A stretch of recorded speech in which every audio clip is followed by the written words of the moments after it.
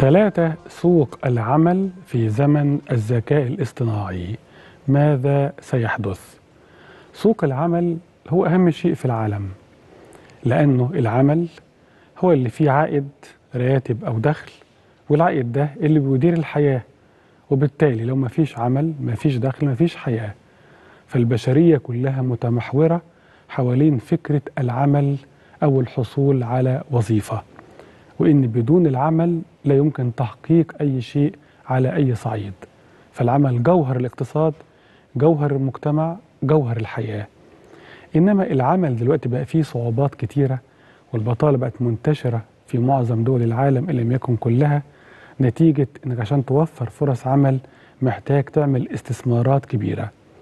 إنما الخطر الأكبر دلوقتي هو الذكاء الاصطناعي لأنه بعض المؤسسات المالية الكبرى بتقول إنه الذكاء الاصطناعي هيؤدي إلى خسارة 300 مليون وظيفة. وده رقم كبير جدا. إنما البعض بيقول هل يا ترى فعلا الذكاء الاصطناعي هيدمر الوظائف ولا لا؟ في السعودية مدينة الرياض انعقد مؤتمر اسمه المؤتمر الدولي الأول لسوق العمل. حضروا عدد من المسؤولين من دول كتيرة جدا شاركت مصر في هذا المؤتمر واتكلم وزير العمل المصري في هذا المؤتمر وقال إنه الرئيس السيسي وجه الوزارة بأن هم يشتغلوا على تنفيذ حقيقي للاستراتيجية المصرية أو الاستراتيجية الوطنية للتشغيل. وقال بنشتغل على تجهيز العمالة المصرية إنها تكون على مستوى كفاءة عالي اقليميا ودوليا. إنما التحديات بتزيد لأنه دلوقتي في مصطلح المهارات الجديدة لأن في وظائف جديدة قادمة أو مهارات المستقبل لأن الذكاء الاصطناعي هيدمر وظائف كتيرة. في خطر على الهندسة المعمارية مثلا على هندسة الديكور على سبيل المثال على الإدارة على الإعلام في وظائف كتيرة جدا هيكون لها مخاطر. بعض الوظائف والمهن ستزول وتختفي تماما.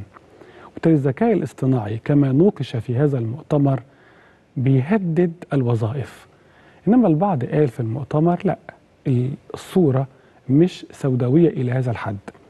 لأنه ممكن فرص العمل زي ما قال أحمد الركحي وزير التنمية والموارد البشرية في السعودية قال الوزير السعودي إنه هذه التحديات بالمقابل في فرص.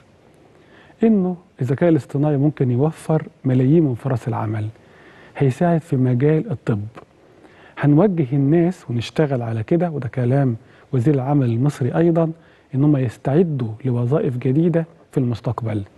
بحيث الوظائف اللي ما فيش عليها طلب الطلاب ما يروحوش في هذا الاتجاه. والعائلات توجه ولادهم إن ما يكملوش في هذا الاتجاه. إنما لازم يبصوا الأول إيه هي وظائف المستقبل علشان يكون التعليم والخبرة في خدمة وظيفة المستقبل. في هيكل لسوق العمل بيتغير تماما على أثر الذكاء الاصطناعي ولازم نكون جزء من هذا التطور لمواجهة هذا التحدي. ولا شك إن الاستراتيجية الوطنية للتشغيل في مصر تضع ده في الاعتبار ويجب إن أي تحديث في المستقبل يضع ذلك في الاعتبار بقوة لأن الذكاء الاصطناعي على قد الفرص الكبيرة اللي بيديها للعلم والرياضيات والتسويق وغيره إلا إن تحدي كبير جدا لموضوع العمل والتشغيل وبالتالي الحياة الإنسانية ككل. سوق العمل في زمن الذكاء الاصطناعي هناك تحديات كبيرة تنتظر العالم. شكرا لحضراتكم وإلى حلقة جديدة من برنامج الطبعة الأولى.